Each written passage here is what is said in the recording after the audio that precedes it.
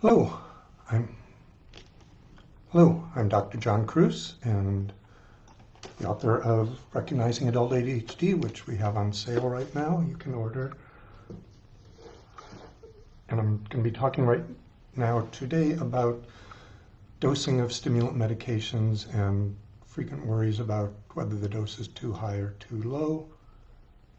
I'll be talking for about 20 minutes. If you have questions while I'm talking, you can certainly type them in. This will also be posted on YouTube as well as Facebook afterwards. If you have questions later, you can type them in then and I'll get back to them.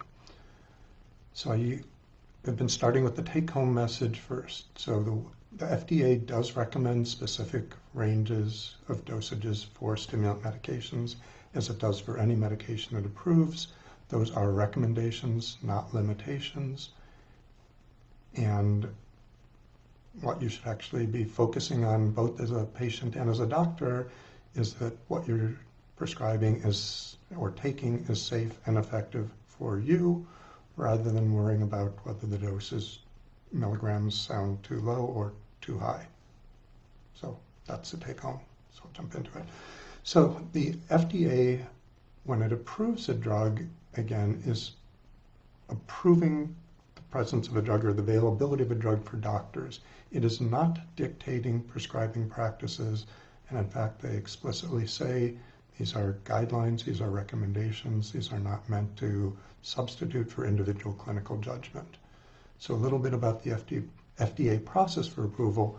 Phase one studies for approving medication involve the safety aspect. So, usually at most a few dozen people, not even necessarily patients, often healthy control people who aren't don't have the condition, are dosed first with what are thought to be small doses of a new drug and progressively larger doses until um, adverse effects, what we call side effects, dangerous or bad or unpleasant effects start appearing. And that's used to determine what is considered too much. That does not mean approval of the drug goes always up to what's proven to be safe. That's just establishing the safety range of doses that might possibly be tested in the next two stages for approval of a drug. So phase one, safety. Phase two testing for the FDA is efficacy. So this is much larger population of people with the condition under consideration. So for stimulants, it's often 80 D is the condition under stimulation or under testing, under study for phase two, and almost always there's a requirement for a control group, a placebo group, and there's comparison usually across a range of dosages whether the medication is effective for treating or alleviating symptoms of that condition. So those are the efficacy studies. And then phase three studies are usually much more larger number of patients are studied. These, and again, phase two and three involve patients, not just normal controls. And the phase three, three studies, they're attempting to answer what dosages of the medication are both safer and or and or so it could just be that it's safer or it could be more effective than existing treatment options so if a company does not study a certain dosage range, even if it was found to be safe in the phase one studies, they don't include that dosage range in the phase three, or they may include it but not even have enough patients in the group. The FDA may choose not to endorse or recommend the whole range of dosages that the company studied. Again, if the company only studies narrow dose of ranges, the FDA never in the phase three, at least to my knowledge, never approves a range of dosages broader than what were studied in the phase three trials. And at, so at the end of phase three trials, the data is summarized, presented to the FDA. There's a panel of medical experts who are convened to review the data and approve or not approve the medication. Sometimes it's referred back to we need more studies or we need questions answered. And after a drug is approved, there are often phase four um, studies done. And phase four is, is acknowledging that even if you look at large numbers of people, there may be rare side effects or there may be side effects that or, or even benefits that take much longer to show up or, or reveal themselves than we're seen in the usually fairly short-term time interval allowed for a phase three study. So again, the FDA is making recommendations. They are not saying you can't prescribe outside of this limit. And in fact, they're sort of, they are acknowledging that almost everything we look at biologically shows some, in human subjects, any variable we look at, any something like blood pressure, something like response to a medication, that there's a usually a roughly bell-shaped curve where most people are responding to a dose somewhere in the middle or have a variable somewhere in the middle, but we know that there are always people at either tail end. So some people are very sensitive and will respond to a very low dose. Some people are insensitive and will respond to a high dose, or if it's a variable of height or something else. Some people are very short, some people are very tall. Most people are clustered near the middle. The insurance companies, though, and I'm trying not to be cynical, um, but clearly, the insurance companies are the business that runs medicine in America, and their major objective is making money. It's not taking care of people, it's not ensuring people's health. If they see a way to ensure health that makes their profits bigger, they may do that. Um, but they often, in this day and age, restrict access to dosages that sometimes even if they're lower, but particularly if they are higher than the FDA recommendations, and often require that the person cite a expert published board that allows or recommends a dose above what's recommended, or um, require that you find peer-reviewed studies that evaluate the specific dose you're using. Now, their claim is to protect patients' safety.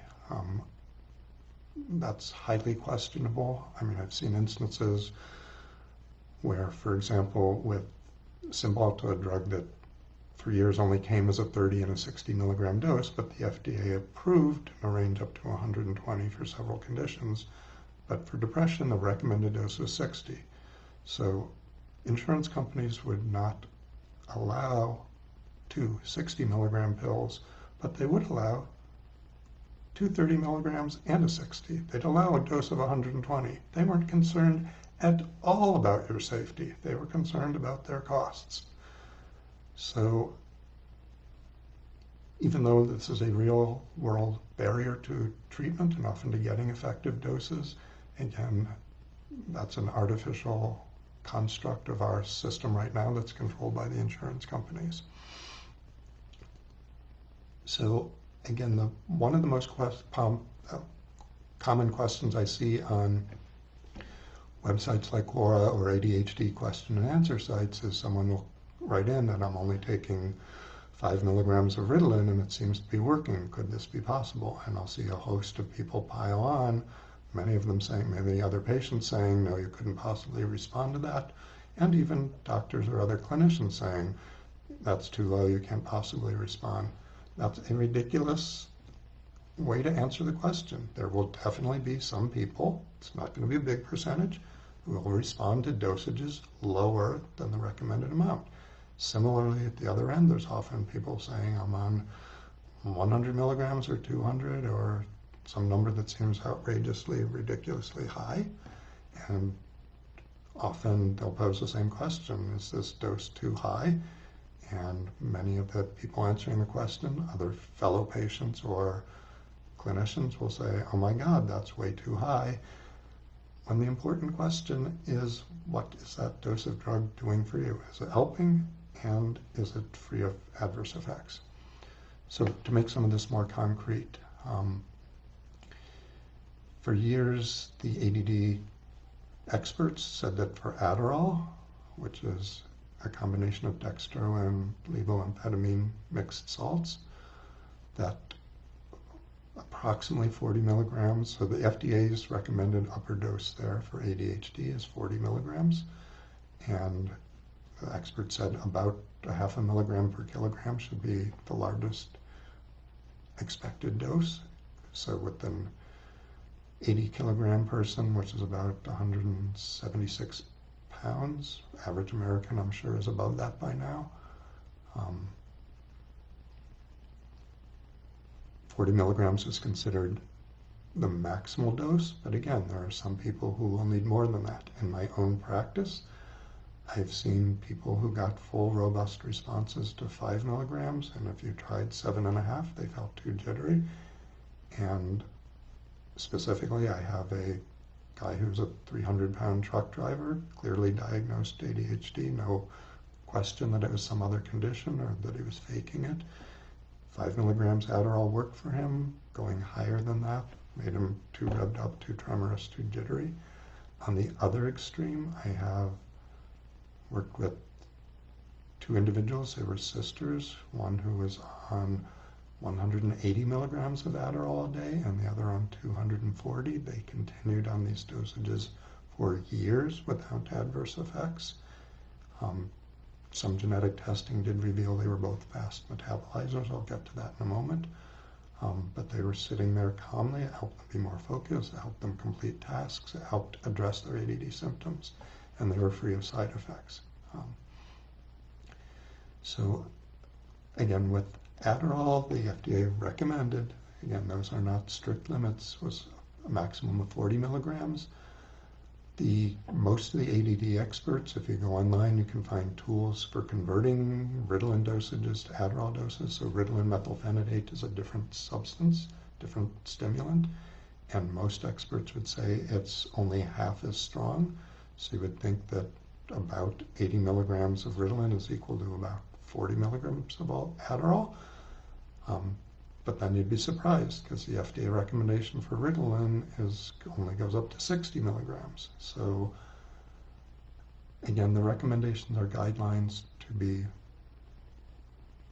um, dealt with on an individual basis in terms of what's cl clinically appropriate. Jumping on to, to some other confusion or potential confusion on the Adderall. So again, Adderall is a combination of different salts of amphetamine, and amphetamine exists in the natural state, as it were, or the chemical, naive chemical state, is an equal mixture of left-handed molecules and right-handed molecules. Um, those different left and right, so left is called the L molecule, um, levo, dextro is D or right. So the dextro D amphetamine is about three to four times as potent as the L form in stimulating dopamine and noradrenergic systems. Again, these, these amphetamine has multiple effects on catecholamines, dopamine, and norepinephrine transmission.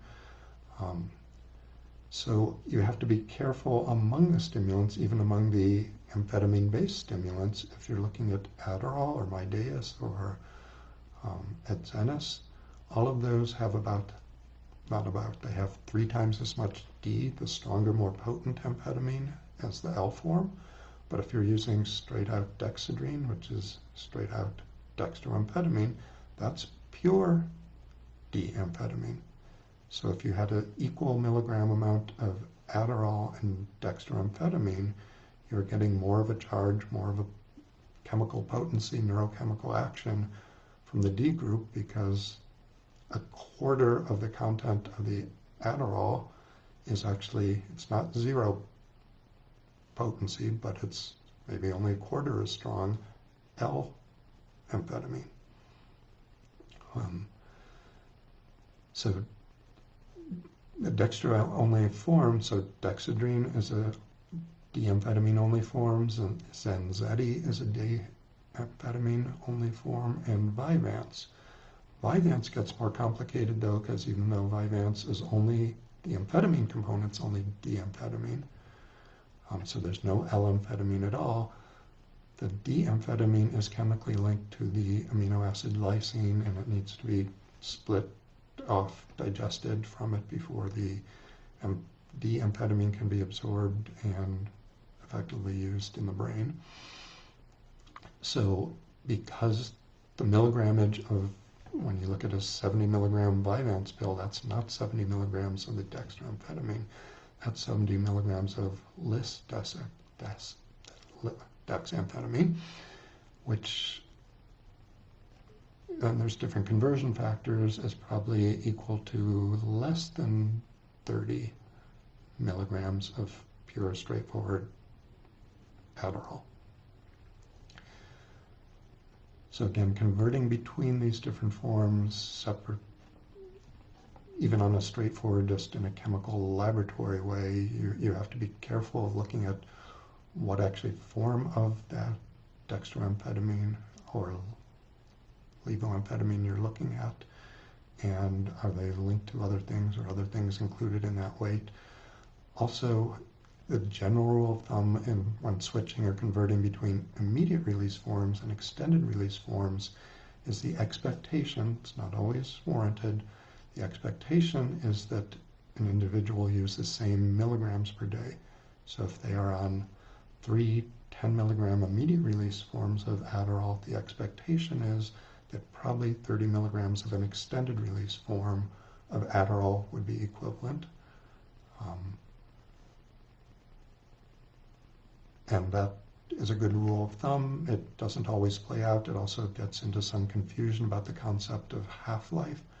So people use the word the word half-life in pharmacology means the time it takes the plasma levels, the level in their blood, to drop to half of what the peak was.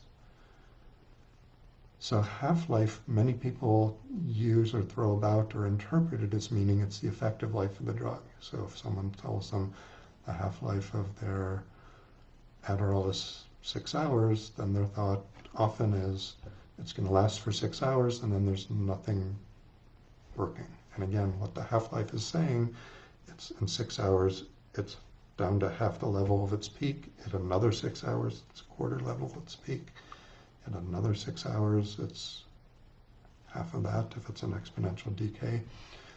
And its effective life matters what range of dosages you're going to be responding to. If you actually need to hit that peak or within 90% of that peak, your effective life on the drug may be much shorter than the half-life. On the other hand, if a half dose or even a quarter dose is still having some effect on you, then your benefit is going to feel much longer than what that half-life is. So don't be misled astray by what you think half-life is or what it doesn't really mean. Um, so in real life, what we usually do with dosing for someone who's naive to stimulant medication is, unless they've you know, had experience with street drugs or other you know, experimented with something or had a trial in the past where we know it doesn't make sense to start with the lowest range, we usually start with the very lowest dose. And because with the stimulants for ADD, almost all of what you will see from a given dose is there on a given day, and side effects usually show up right away, it makes sense to start the lowest dose, see what you get. If you have no effect or or its optimal effect, you should still try that dose probably for two or three days. Partly because with ADHD, we know there's day-to-day variability in symptoms for most people. How well they slept is one variable affecting that, but there are clearly others that some mornings someone wakes up feeling firing on all eight cylinders, six cylinders, whatever their engine is, and other days they're just feeling out of it even if they slept well. Um, and that state often persists during the day and it will affect how effective a given dose of medication is.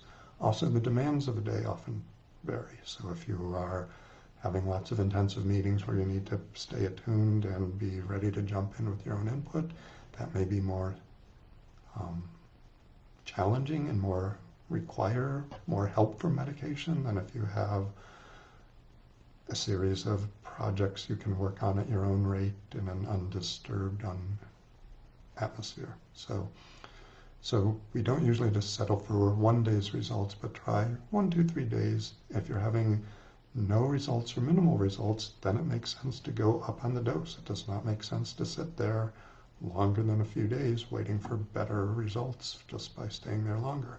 And if with Adderall, if we start at five, the next dose up is 10, um, depending on what the 10, if the 10 feels good, that may be reason to stop there, or it may make sense to keep marching up again every two, three days, not waiting for weeks or months because there's not much point in that. So the big question is, how do you know when to stop pushing higher? And there's three different potential endpoints. One, in, a, in the real world, what often happens is just a comfort level. I have lots of people who are scared or reluctant to try stimulants. They're just seeing some clear benefit on, uh, say, let's say 10 milligrams of Adderall. They're happy with that. They don't want to even see whether 15 does more. Sometimes they get curious, but so their comfort level says this is doing something good. I don't want to push it further. Most of the ADD experts, and I would generally encourage some aspect of this, would push higher to one of two other endpoints. So the second type of endpoint is when side effects get in the way. So some experts would say keep going up on the dose until you see too much agitation, too much tremor, too much appetite suppression, whatever it is, but go up until that dose, then back down from there, and that's probably your safest and most effective dose. Um, so that approach overlaps a little bit with the, the third approach, which is go to the place where you stop seeing improvement. So an alternative to going pushing up to the side effect level is if you see some results at 10 and you see more at 15, but from 15 to 20 you can't really discern the difference, then that would be stopping at the level of no improvement even if you didn't have side effects at 20. And if 15 and 20 really were indistinguishable, it usually makes sense to go back down to 15. Now, some experts, and I do agree that there is a kernel of truth in this, would argue part of the problem with ADHD is paying attention, picking up on all the information that's going on, and measurably people with ADHD are not accurate measures of how well, how much they're missing. They're not, their ADD interferes with how, assessing how bad their ADD is. Um, so people around them may don't notice differences between, say, 15 and 20 their results in terms of how many items they're finishing on their homework or how often they're getting their homework done on time or how long they're attentive in a meeting.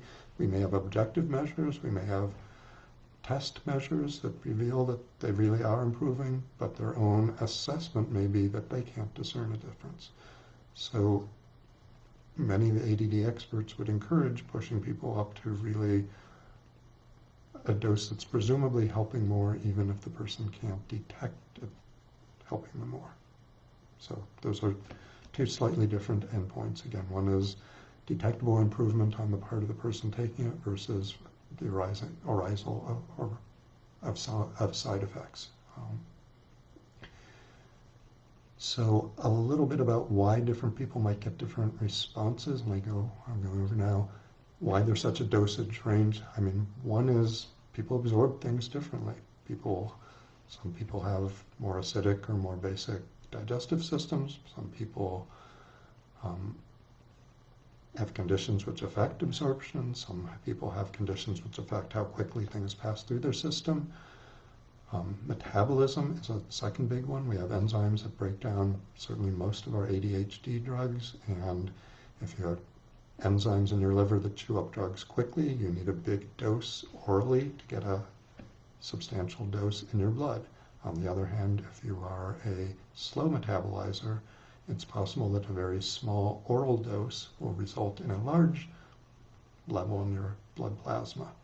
So metabolism and many of our genetic testing, um, Genomind and some of the other systems are mostly measuring how rapidly livers break down liver enzymes break down drugs. And then there's a third issue, which many people assume is the most important issue of what's really going on on the brain. So the assumption is often my ADHD is more severe, therefore I'm going to need a bigger dose of medication. That usually is not a terribly good predictor because, again, what's going on in the brain in terms of, let's say, for example, how many dopamine receptors are really present. Um, again, that may have some factor in what dosage you need, but it's usually not the biggest one. So my general message is, yes, if someone's having a response or an apparent response to a much lower dose or a much higher than is recommended, there's reason to sort of look closely at that, but I would take the trust but verify approach. So it's take the patient at their word, but it's worth following up or determining whether they are really getting an effect or whether they really could get away with lower dose if they're on a really, really high dose. But if they're not having side effects, if they're not having adverse effects, it's probably safe to continue. I know with the stimulants, there's a tiny bit of data and a huge amount of speculation that higher doses may put people at more risk for addiction or amphetamine-induced psychosis. I would say that the hard data on that is still, we're lacking that. Um, so in general, I would urge, rather than people focusing so much on how many milligrams they're taking, to focus on what it's doing for you. And that's a different version of what I call the quest, not test approach to life. So don't view this as a test. Don't view it as you have to get the right milligrams. View it as what is my quest? What am I trying to achieve? And I'm trying to achieve improvement in symptoms of ADHD without causing more problems. So that's all I have to say for today.